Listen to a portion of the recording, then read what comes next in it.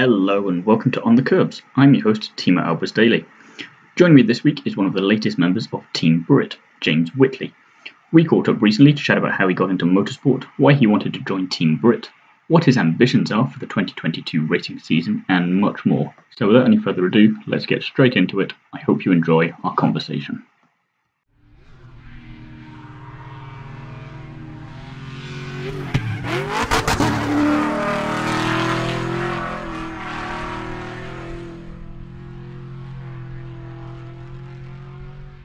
Hi, James. Thanks for being here today. First of all, how are you? Uh, I'm very well, thanks. Uh, I'm just in Norway at the moment, but yeah, just recovered from Christmas and New Year, but I'm all well. Getting getting knee deep in snow, I imagine up there. Yeah, it's very cold and lots of snowy conditions. Uh, you know, as always, I always find it good fun to drive on, apart from anything, as well as skiing. It's a good test. Yeah, definitely. I mean, uh, when you're on sort of driving on the snow, I, I, just love the sort of car control aspect. Everything's in slow motion, and it's sort of I feel like it translates a little bit to the racetrack actually. Hmm. It's always about seeing what you can uh, take from other areas and just apply it in there. You never know what, what might be helpful. Definitely, just um, sort of having getting used to pressing the traction control button off, you know, on a on a loose surface is like yeah, you know, getting comfortable with the sliding car definitely helps. Yeah, definitely. And talking talking of that, you're one of the latest drivers for Team Brit. They're they're expanding rapidly. It would seem at the moment, and obviously they're the all disabled racing team. So first of all, can you tell us a bit about your disability and how it impacts you? Yeah, so uh, I have um, basically both of my hands. I've got two fingers on my left hand uh, and three fingers on my right. Um, and basically, uh, I was born like that, had dozens and dozens of operations to try and get the function I have today to do sort of basic tasks like, you know, cut your food, get dressed in the morning. Um, to be honest, because I've been born with it, uh, and now I'm 24, I've had 24 years of practice. So, so You're used to it. I actually, yeah, I, I, guess I'm used to it as much as I would know uh, because I've never known anything else. Um, and so there's not really too many things I find tricky now, like apart from maybe, you know, doing up a top button or hmm. like, you know, little, little small niggly things like that. But actually, most of the time, uh, um, apart from if I'm trying to juggle, it's not too much of a hint.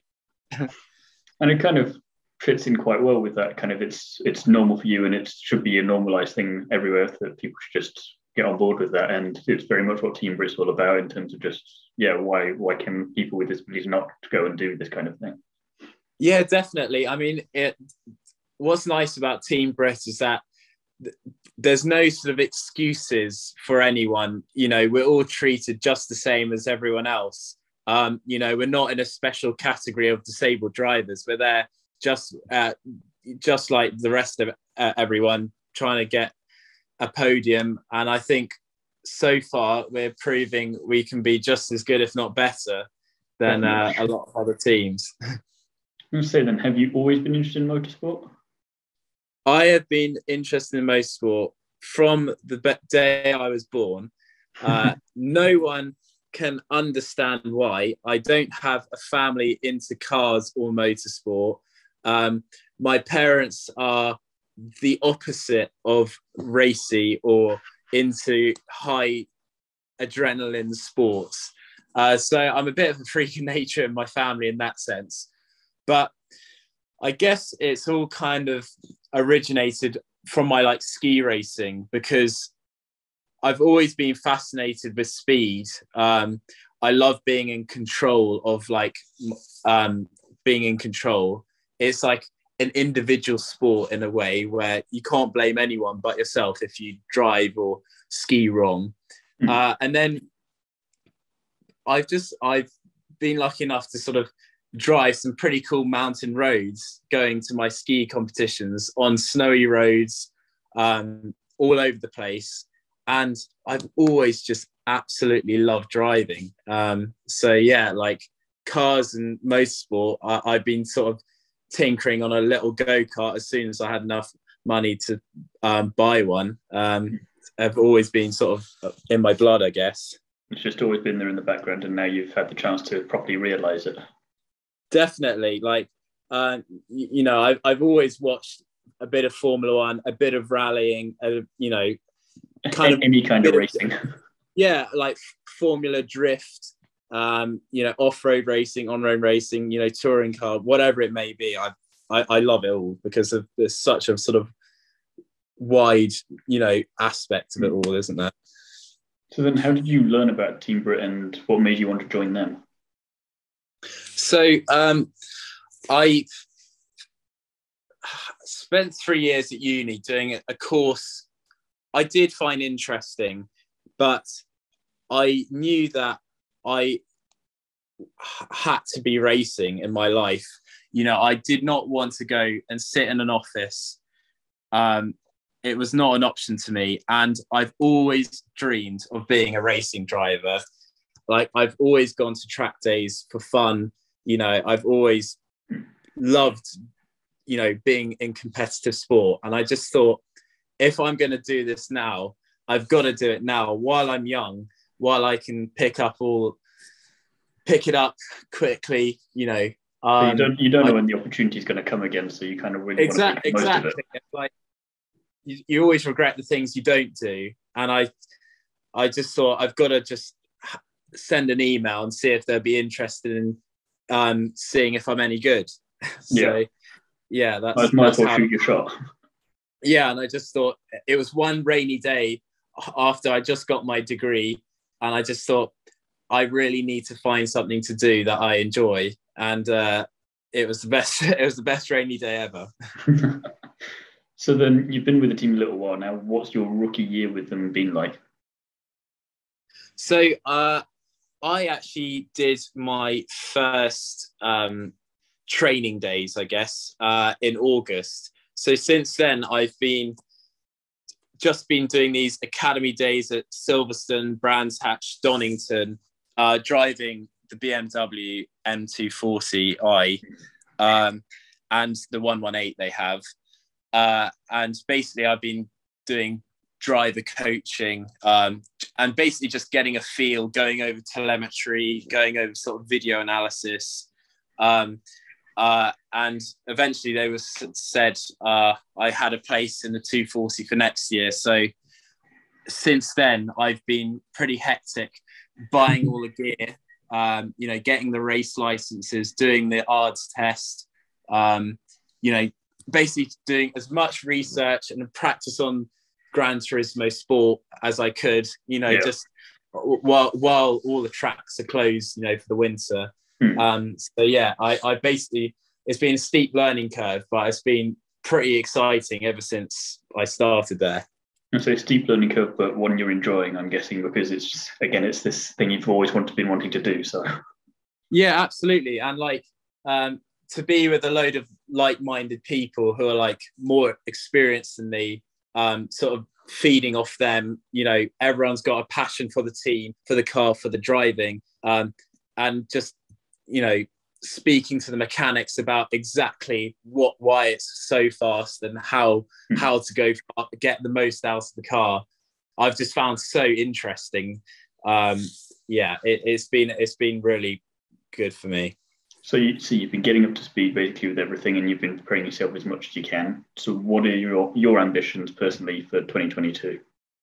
My ambitions is well, I'm going into the 240i that Team Brit have prepared really well. Uh, I I want to get on the podium. You know, I want to get a, a podium in my first year of racing cars. Uh, I do think that is possible. I think uh, me and uh, Chris Overend, who is my teammate for next year. I think we'll be a pretty a pretty fast pair. Um, fingers crossed. Uh, yeah. But you never know motorsport; anything can happen. I'm say if if uh, if you've got the same kind of skill and luck that uh, all of the drivers have proven to have so far, then that shouldn't be an issue for you. And uh, I don't think yeah, they'd have chosen you if you didn't have that potential. yeah, I hope so. exactly. But um, I, I feel like I, I, at a slight benefit to having done ski racing before because I sort of I have you know a bit of experience sort of looking for that last tenth of a second you know and that mm-hmm. racing line that you know I, I don't have to learn from scratch in that sense. No, no. And it, I mean, it, it, you can tell from just speaking to you, you've got that determination to find it anyway. So even if you did have to learn from scratch, you'd be still going for it. Yeah, if the, if there's an extra mile per hour I can get, I, I will try and find it at all costs. so then, as well, you said that you were just kind of into motorsport from day one, essentially. Do you have any motorsport role models? Yeah, like uh, starting from that, like um, you know, I, I should probably mention that uh, from a young age, I, I uh, was actually used to do laps of my house on a pedal go kart and seeing how fast do it. But yeah, I mean, like I think when I was really young, I was uh, really fascinated by like Sebastien Loeb. I loved the sort of car control aspect of rally driving, and then mm. more recently, you know, watching sort of Max Verstappen and Lewis Hamilton you know, having the duel of all time. Uh, it was just so exciting to watch that. I even get got my parents watching a couple of races, which was like, you know, a triumph in, in itself. yeah, exactly. But um, yeah, like I think the sort of top drivers in all the disciplines of like, you know, high level most sport is uh, I, I always find so fascinating how they do it. You know, how much sacrifice they're they put up and in all their lifestyle choices they do to get to the best mm. they can be. I'm saying Loeb and Lewis and Max are not exactly they're they're like the best of the best as well. So it's kind of you you can get to the top of the game, but staying there for as long as they have is no no easy feat. So exactly. I mean, uh, you know, with Loeb, you know, he sort of he stops one, you know, he stops rally driving and then sets Pikes Peak record. And then, you know, some people just have this feel and talent with behind a wheel that, you know, is is pretty interesting to watch on video. Yeah, you, you're just scaring over all, as much footage as you can to see what you can learn and take from it. It's just like there's got to be something here that I can use. exactly, like um, it's. You, I think a lot of them are sort of I, I used to speak to a sports psychologist who used to like for downhill racing.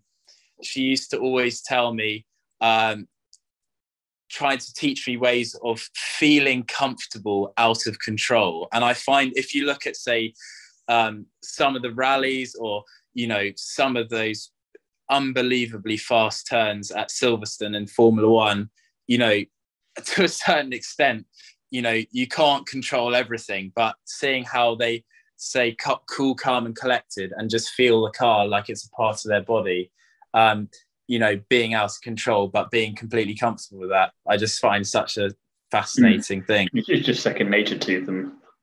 Yeah yeah.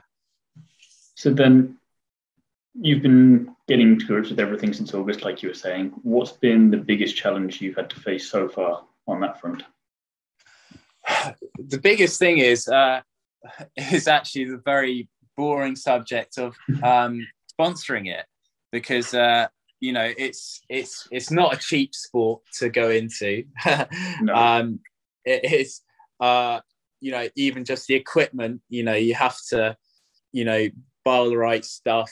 You know make sure it's the right specification for the latest state of you know safety standards and all of it starts to stack up. But you know, the sort of the driving is the sort of the cherry on top, but there's so much behind the scenes of like, you know, um, yeah, the of costs. I guess that's the, the hardest thing um, to to to deal with. I guess. Well, it makes sense. I mean, it's it's again, you you feel like it's so with with Team Brit, they've got such a niche category there, and what they're what they're trying to achieve, it should maybe make things easier. But obviously, that's not how things work, unfortunately. So yeah, again, exactly. another challenge you know, for you. You know, uh, yeah, yeah, you, you're given this amazing car, and uh, you know, I guess there is this thought in the back of your mind. You've got this amazing team and amazing car behind you you don't want to be, especially as a rookie, the one who puts it into the ditch. yeah. Yeah. You do do that on the sim maybe, but but not not when it comes to the real thing. exactly the sim. You can do that all day, but um, yeah, I wouldn't be too popular in real life. So then, a couple of fun questions to finish off with. Now, which racetrack would you love to go and race on? So, I have done the Touristenfahrten at the Nurburgring mm. um, a few times.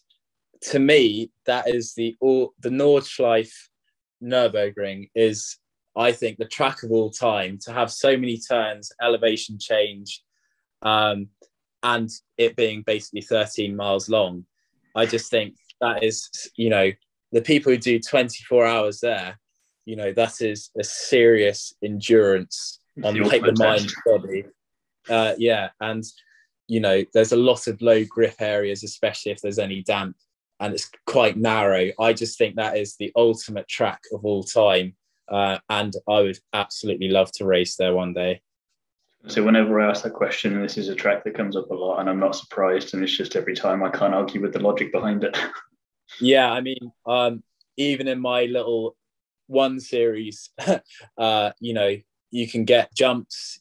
You go, you can hit the bump stops with the compression. You you know, there's a lot of oh my god moments there. Um, every single lap you do. So I think it's again one of those tracks that uh, people don't mind what car they're in as long as they get to have a go around it because they feel like they can still get something out of it. It's just one of those one exactly. of those exactly like even if you're in like a Land Rover, you'll still have like such a, an experience because even if you're not going that quick, it's it's such a cool thing to see everyone else going for it because you know there's a lot of good drivers and a lot of good cars there. Um, but yeah, it, it's it's a place that you know it, it's just, it, it's it's so dangerous. It's amazing. and then finally, totally random off-topic question: Which two animals would you choose to swap the sounds that they make? So I I have a cat and I get a lot of fun made out of me for this having a cat by a couple of my mates.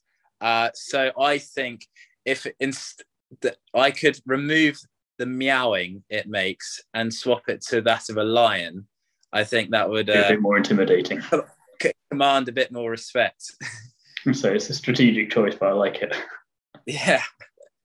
Well, it's been an absolute pleasure chatting with you today. Uh, I will stick any social media links for you down in the description of this video for anyone watching and listening so they can go find you and follow you as you go and make your way onto the podium at some point this year, fingers crossed. And uh, yeah, good luck with everything. And thanks for being here today. Thank you very much.